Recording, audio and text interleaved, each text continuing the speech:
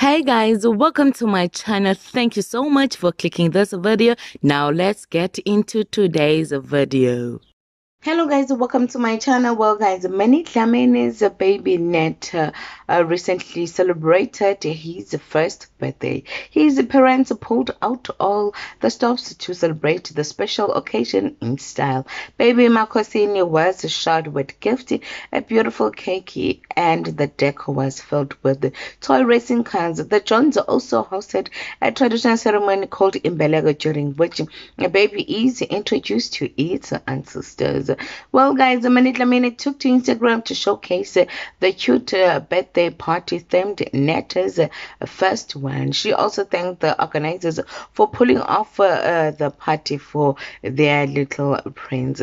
Guys, this was so beautiful, and please let's have a look what happened inside.